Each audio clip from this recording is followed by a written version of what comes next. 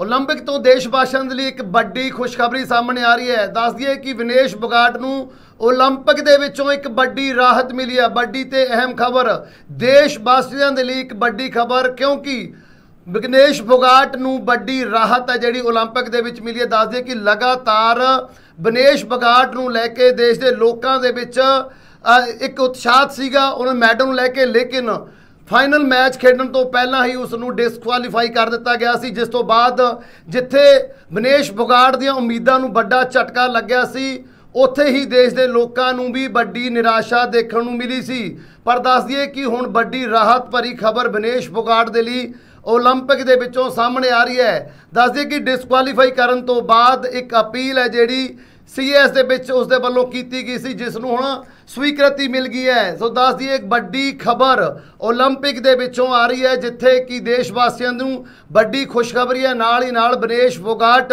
ਜਿਹੜੇ ਕਿ ਦੇਸ਼ ਦੀ ਮਹਿਲਾ ਰੈਸਲਰ ਨੇ ਅਤੇ ਫਾਈਨਲ ਦੇ ਲਈ ਉਹਨਾਂ ਵੱਲੋਂ ਕੁਆਲੀਫਾਈ ਕਰ ਲਿਆ ਗਿਆ ਸੀ ਸਾਈ ਫਾਈਨਲ ਦੇ ਵਿੱਚ ਵਿਰੋਧੀ ਨੂੰ ਹਰਾ ਕੇ ਲੇਕਿਨ ਫਾਈਨਲ ਮੈਚ ਤੋਂ ਪਹਿਲਾਂ ਹੀ 50 ਕਿਲੋ ਕੈਟਾਗਰੀ ਦੇ ਵਿੱਚ ਫਾਈਨਲ ਮੈਚ ਤੋਂ ਪਹਿਲਾਂ ਹੀ ਉਹਨਾਂ ਨੂੰ 100 ਗ੍ਰਾਮ ਵੱਧ ਵਜਨ ਹੋਣ ਕਾਰਨ ਡਿਸਕੁਆਲੀਫਾਈ ਕਰ ਦਿੱਤਾ ਗਿਆ ਸੀ ਅਤੇ ਉਹਨਾਂ ਦੀਆਂ ਉਮੀਦਾਂ ਨੂੰ ਵੱਡਾ ਝਟਕਾ ਲੱਗਿਆ ਸੀ। ਉੱਥੇ ਹੀ ਦੇਸ਼ ਦੇ ਲੋਕਾਂ ਨੂੰ ਵੱਡਾ ਝਟਕਾ ਲੱਗਿਆ ਸੀ, ਲੇਕਿਨ ਬਾਵਜੂਦ ਇਸ ਦੇ ਦੇਸ਼ ਦੇ ਲੋਕ ਉਹਨਾਂ ਦੇ ਨਾਲ ਖੜੇ ਹੋਏ ਨਜ਼ਰ ਆ ਰਹੇ ਸੀ ਅਤੇ ਉਹਨਾਂ ਦੇ ਨਾਲ ਆਪਣੀ ਸਹਾਨੁਭੂਤੀ ਦਿਖਾਉਂਦੇ ਹੋਏ ਨਜ਼ਰ ਆਏ ਸੀ। ਲੇਕਿਨ ਬਾਵਜੂਦ ਇਸ ਦੇ ਭਾਵੇਂ ਕਿ ਉਹ ਬੁਰੀ ਤਰੀਕੇ ਨਾਲ ਟੁੱਟ ਚੁੱਕੇ ਸੀ, ਉਹਨਾਂ ਦੇ ਵੱਲੋਂ ਐਲਾਨ ਕਰ ਦਿੱਤਾ ਗਿਆ ਸੀ ਕਿ ਉਹ ਕੁਸ਼ਤੀ ਨੂੰ ਹੁਣ ਛੱਡ ਦੇਣਗੇ। ਉਹਨਾਂ ਦੇ ਵੱਲੋਂ ਇਹ ਐਲਾਨ ਕਰ ਦਿੱਤਾ ਗਿਆ ਸੀ ਕਿ ਇਸ ਤੋਂ ਬਾਅਦ ਉਹ ਕੁਸ਼ਤੀ ਨਹੀਂ ਲੜਨਗੇ। ਲੇਕਿਨ ਇਸ ਐਲਾਨ ਤੋਂ ਪਹਿਲਾਂ ਉਹਨਾਂ ਦੇ ਵੱਲੋਂ ਇੱਕ ਜਿਹੜੀ ਅਪੀਲ ਹੈ ਉਹ ਕੀਤੀ ਗਈ ਸੀ ਅਤੇ ਦੱਸ ਦਈਏ ਕਿ ਹੁਣ ਉਹਨਾਂ ਦੀ ਅਪੀਲ ਹੈ ਜਿਹੜੀ ਉਹ ਸਵੀਕਾਰ ਕਰ ਲਈ ਗਈ ਹੈ। ਸੋ ਹੁਣ ਦੱਸ ਦਈਏ ਕਿ ਹੁਣ ਚਾਂਦੀ ਦਾ ਮੈਡਲ ਯਾਨੀ ਕਿ ਸਿਲਵਰ ਮੈਡਲ ਉਹਨਾਂ ਨੂੰ ਮਿਲ ਸਕਦਾ ਹੈ। ਇਹ ਦੇਸ਼ ਦੇ ਲੋਕਾਂ ਦੇ ਲਈ ਵੱਡੀ ਰਾਹਤ ਤੇ ਨਾਲ ਹੀ ਨਾਲ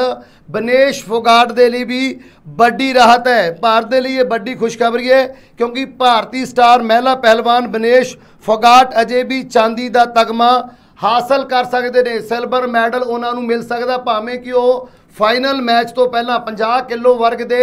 ਫਾਈਨਲ ਮੈਚ ਤੋਂ ਪਹਿਲਾਂ, ਕੁਸ਼ਤੀ ਮੈਚ ਤੋਂ ਪਹਿਲਾਂ ਉਹਨਾਂ ਨੂੰ ਡਿਸਕੁਆਲੀਫਾਈ ਕਰ ਦਿੱਤਾ ਗਿਆ ਸੀ, ਕਿਉਂਕਿ ਉਹਨਾਂ ਦਾ 100 ਗ੍ਰਾਮ weight ਹੈ ਜਿਹੜਾ ਵੱਧ ਦਿਖਾ ਦਿੱਤਾ ਗਿਆ ਸੀ, ਵੱਧ ਦਿਖਾਈ ਦਿੱਤਾ ਸੀ, ਵਧਿਆ ਹੋਇਆ weight ਸੀ, ਜਿਸ ਕਾਰਨ ਉਹਨਾਂ ਨੂੰ ਫਾਈਨਲ ਮੈਚ ਤੋਂ ਪਹਿਲਾਂ ਡਿਸਕੁਆਲੀਫਾਈ ਕਰ ਦਿੱਤਾ ਗਿਆ ਸੀ। ਲੋਕਾਂ ਨੂੰ ਵੱਡੀ, ਹੁਣ ਰਾਹਤ ਹੈ ਨਾਲ ਵਿਨੇਸ਼ ਫਗਾੜ ਨੂੰ ਵੱਡੀ ਰਾਹਤ ਹੈ, ਕਿਉਂਕਿ ਉਹਨਾਂ ਦੀ ਜਿਹੜੀ ਅਪੀਲ ਸੀ, ਚਾਂਦੀ ਦੇ ਮੈਡਲ ਦੇ ਲਈ ਜਿਹਨਾਂ ਦੀ, ਜਿਹੜੀ ਉਹਨਾਂ ਵੱਲੋਂ ਅਪੀਲ ਕੀਤੀ ਗਈ ਸੀ ਉਸ ਨੂੰ ਹੁਣ ਸਵੀਕ੍ਰਿਤੀ ਮਿਲ ਗਈ ਹੈ ਭਾਵ ਕਿ ਉਹਨਾਂ ਨੂੰ ਸਵੀਕਾਰ ਕਰ ਲਿਆ ਗਿਆ ਹੈ ਸੋ ਲੱਖਾਂ ਲੋਕਾਂ ਦਾ ਕਰੋੜਾਂ ਲੋਕਾਂ ਦਾ ਜਿਹੜਾ ਦਿਲ ਟੁੱਟਿਆ ਸੀ ਉਹਨਾਂ ਨੂੰ ਕਿਤੇ ਨਾ ਕਿਤੇ ਹੁਣ ਇਹ ਵੱਡੀ ਰਾਹਤ ਮਿਲਦੀ ਹੋਈ ਦਿਖਾਈ ਦੇ ਰਹੀ ਹੈ ਦੱਸ ਦਈਏ ਇੱਕ ਵਾਰ ਫਿਰ ਤੋਂ ਕਿ ਵਿਨੇਸ਼ ਫੋਗਾਟ ਜਿਹੜੇ ਕਿ 올림픽 ਦੇ ਵਿੱਚ 50 ਕਿਲੋ ਵਰਗ ਦੇ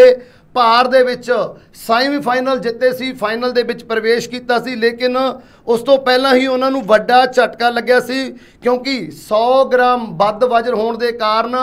ਫਾਈਨਲ ਤੋਂ ਪਹਿਲਾਂ ਉਹਨਾਂ ਨੂੰ ਡਿਸਕੁਆਲੀਫਾਈ ਕਰ ਦਿੱਤਾ ਗਿਆ ਸੀ। ਲੇਕਿਨ ਉਹਨਾਂ ਦੇ ਵੱਲੋਂ ਸੀਏਐਸ ਦੇ ਵਿੱਚ ਇੱਕ ਅਪੀਲ ਦਾਇਰ ਕੀਤੀ ਗਈ ਸੀ, ਜਿੱਥੇ ਕਿ ਉਹਨਾਂ ਦੇ ਵੱਲੋਂ ਉਹਨਾਂ ਨੂੰ ਡਿਸਕੁਆਲੀਫਾਈ ਕਰਨ ਦਾ ਜਿਹੜਾ ਫੈਸਲਾ ਸੀ ਉਸ ਨੂੰ ਚੈਲੰਜ ਕੀਤਾ ਗਿਆ ਸੀ। ਹੁਣ ਚੈਲੰਜ ਕਰਨ ਤੋਂ ਬਾਅਦ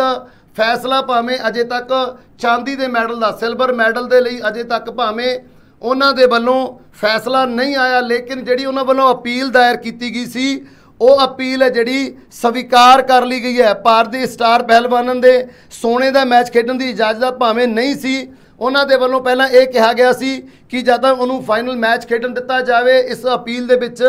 ਜਾਂ ਫਿਰ ਉਹਨਾਂ ਨੂੰ ਚਾਂਦੀ ਦਾ ਮੈਡਲ ਸਾਂਝੇ ਤੌਰ ਤੇ ਦੇ ਦਿੱਤਾ ਜਾਵੇ। ਹੁਣ ਉਹਨਾਂ ਦੀ ਜਿਹੜੀ ਅਪੀਲ ਹੈ ਉਹ ਸਵੀਕਾਰ ਕੀਤੀ ਗਈ ਹੈ। ਸੋ ਉਮੀਦਾਂ ਹੁਣ ਇਹ ਬਣ ਚੁੱਕੀਆਂ ਨੇ ਕਿ ਉਹਨਾਂ ਨੂੰ ਚਾਂਦੀ ਦਾ ਜਿਹੜਾ ਮੈਡਲ ਹੈ, ਉਹ ਦਿੱਤਾ ਜਾ ਸਕਦਾ ਹੈ। ਸੋ ਵੱਡੀ ਰਾਹਤ ਜਿਹੜੀ ਹੈਗੀ, ਉਹ ਮਨੇਸ਼ ਫੁਗਾੜ ਦੇ ਲਈ ਆਪਾਂ ਕਹਿ ਸਕਦੇ ਹਾਂ, ਜਿੱਥੇ ਕਿ ਪਹਿਲਾਂ ਉਹਨਾਂ ਦੀਆਂ ਉਮੀਦਾਂ ਨੂੰ ਬੜਾ ਵੱਡਾ ਝਟਕਾ ਲੱਗਿਆ ਸੀ। ਸੀਐਸਏ ਨੇ ਬਨੇਸ਼ ਫੋਗਾਟ ਦੀ ਅਯੋਗਤਾ ਵਿਰੁੱਧ ਜਿਹੜੀ ਅਪੀਲ ਹੈ ਉਹ ਸਵੀਕਾਰ ਕਰ ਲਈ ਹੈ ਸੁਣਵਾਈ ਸ਼ਾਮ ਨੂੰ 5:30 ਵਜੇ ਹੋਏਗੀ ਵੱਡੀ ਅਪਡੇਟ 올림픽 ਤੋਂ ਨਿਕਲ ਕੇ ਸਾਹਮਣੇ ਆ ਰਹੀ ਹੈ ਸੀਐਸ ਨੇ ਵਿਨੇਸ਼ ਫੋਗਾਟ ਦੀ ਅਯੋਗਤਾ ਵਿਰੁੱਧ ਜਿਹੜੀ ਅਪੀਲ ਸੀ ਉਹ ਸਵੀਕਾਰ ਕੀਤੀ ਸੀ ਅਤੇ ਹੁਣ ਉਸ ਦੇ ਸੰਬੰਧ ਦੇ ਵਿੱਚ ਜਿਹੜੀ ਸੁਣਵਾਈ ਹੈ 5 ਵਜੇ ਸ਼ੁਰੂ ਹੋਵੇਗੀ ਉਮੀਦ ਆਪਾਂ ਕਹਿ ਸਕਦੇ ਇੱਕ ਵਾਰ ਫਿਰ ਤੋਂ ਬਣੀ ਹੈਗੀ ਵੀ ਉਹਨਾਂ ਨੂੰ ਚਾਂਦੀ ਦਾ ਤਗਮਾ ਯਾਨੀ ਕਿ ਸਿਲਵਰ ਮੈਡਲ ਜਿਹੜਾ 올림픽 ਦੇ 50 ਕਿਲੋ weight ਦੇ ਵਰਗ ਦੇ ਵਿੱਚ ਮਿਲ ਸਕਦਾ ਹੈ ਦੱਸ ਦਈਏ ਕਿ ਇਸ ਡਿਸਕੁਆਲੀਫਿਕੇਸ਼ਨ ਹੋਣ ਤੋਂ ਬਾਅਦ ਬੁਰੀ ਤਰੀਕੇ ਦੇ ਨਾਲ ਬਨੇਸ਼ ਫੋਗਾਟ ਟੁੱਟ ਚੁੱਕੀ ਸੀ। ਉਹਨਾਂ ਦੇ ਵੱਲੋਂ ਕੁਸ਼ਤੀ ਨੂੰ ਵੀ ਅਲਵਿਦਾ ਆਖ ਦਿੱਤਾ ਗਿਆ ਸੀ। ਉਹਨਾਂ ਵੱਲੋਂ ਐਲਾਨ ਕਰ ਦਿੱਤਾ ਗਿਆ ਸੀ ਕਿ ਹੁਣ ਇਸ ਤੋਂ ਬਾਅਦ ਉਹ ਸੰਨਿਆਸ ਲੈਣਗੇ, ਕੁਸ਼ਤੀ ਨਹੀਂ ਕਰਨਗੇ, ਭਾਵਕ ਪੋਸਟ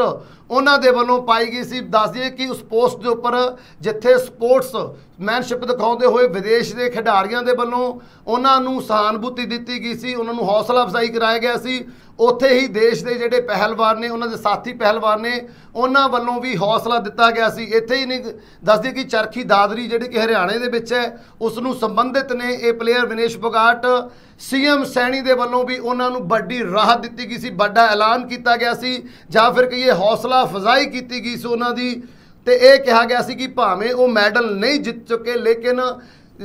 올림픽 ਦੇ ਵਿੱਚ ਸਿਲਵਰ ਮੈਡਲ ਜਿੱਤਣ ਦੇ ਉਪਰੰਤ ਖਿਲਾੜੀ ਨੂੰ ਜਿਹੜੀਆਂ ਸਹੂਲਤਾਂ ਮਿਲਦੀਆਂ ਨੇ ਉਹ ਸਾਰੀਆਂ ਸਹੂਲਤਾਂ ਬਨੇਸ਼ ਫੋਗਾਟ ਨੂੰ ਮਿਲਣਗੀਆਂ ਹਰਿਆ- ਹਰਿਆਣਾ ਸਰਕਾਰ ਦੇ ਵੱਲੋਂ ਇਹ ਵੱਡਾ ਐਲਾਨ ਕੀਤਾ ਗਿਆ ਸੀ ਵੱਡਾ ਫੈਸਲਾ ਕੀਤਾ ਗਿਆ ਸੀ 4 ਕਰੋੜ ਰੁਪਏ ਦੀ ਇਨਾਮੀ ਰਾਸ਼ੀ ਦੇਣ ਦਾ